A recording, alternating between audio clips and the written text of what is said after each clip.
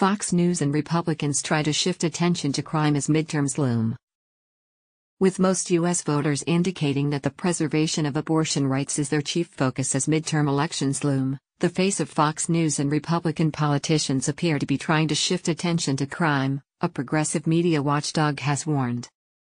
As Democrats seek to maintain razor thin advantages in both congressional chambers, an analysis from Media Matters for America notes that on 19 August, the highest rated Fox News host, Tucker Carlson, implored every Republican candidate in the United States to pitch themselves as favoring law and order and equality under the law. Since then, the word every Republican candidate in the United States has appeared in 29% of Republican political ads, up from 12% in July, Media Matters said citing reporting from the Washington Post. In one of the most closely watched contests, the Republican Senate candidate in Pennsylvania, Dr. Mehmet Oz, then launched ads attacking his Democratic rival, John Fetterman, on criminal justice.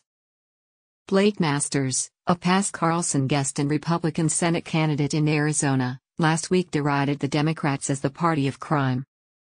A new survey by the Pew Research Center showed 56% of voters said abortion would be very important at the polls after the U.S. Supreme Court struck down the 1973 Roe v. Wade ruling that established the right to terminate a pregnancy.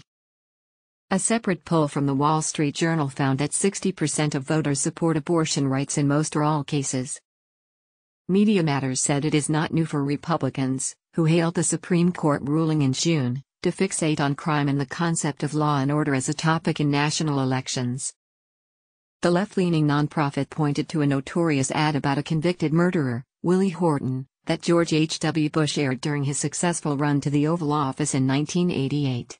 The ad accused his Democratic rival, Michael Dukakis, of being soft on crime while Massachusetts governor because Horton raped a woman and robbed a man during a temporary furlough from prison in that state. Media Matters also said that Carlson and Republicans have echoed each other before.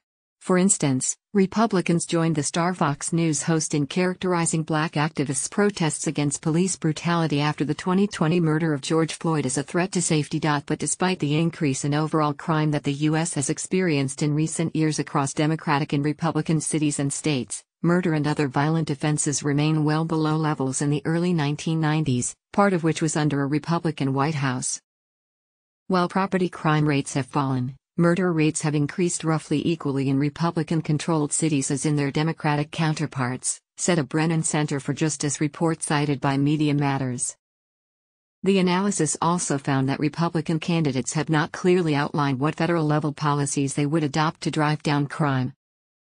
Despite claims that Joe Biden has done nothing to address crime, the president recently signed both the first federal gun safety bill in nearly 30 years and the American Rescue Plan, under which he successfully pushed for $10 billion for policing and public safety. Every Republican in Congress opposed the American Rescue Plan, which was aimed at helping the national economy recover in the wake of the coronavirus pandemic.